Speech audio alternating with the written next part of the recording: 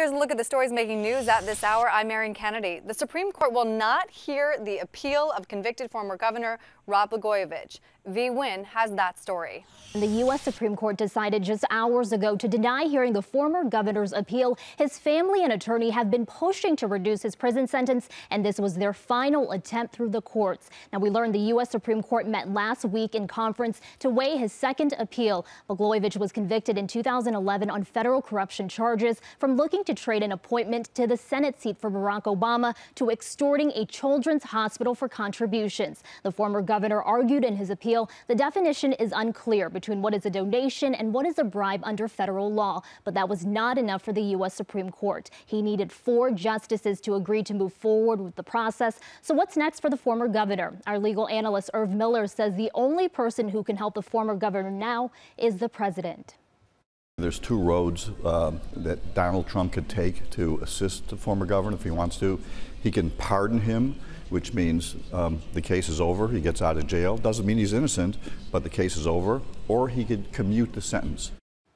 Now, back in 2010, Blagojevich appeared on Donald Trump's show, The Apprentice. We talked to Blagojevich's wife, Patty, on the phone today, and she had no comment at this time. We also reached out to his attorney, and we are still waiting to hear back. Students at one Gary, Indiana high school get to pick their own lunch.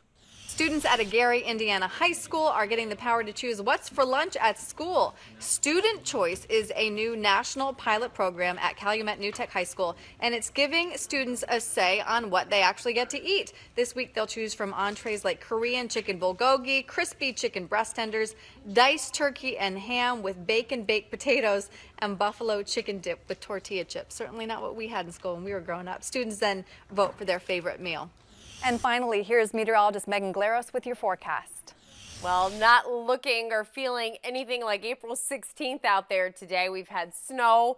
It's windy. The high today will likely only be right around 38 degrees and uh, definitely not what we'd expect this time of the year. By the way, in case you're wondering, the average high on April 16th on this date is 59 degrees. We will be nowhere near that for most of the week. We're finally going to hit the 50s again, low 50s on Wednesday. A little bit of rain shower activity on Wednesday, and then we're likely to see temperatures climbing going into the weekend. We'll finally hit 58 degrees by Sunday.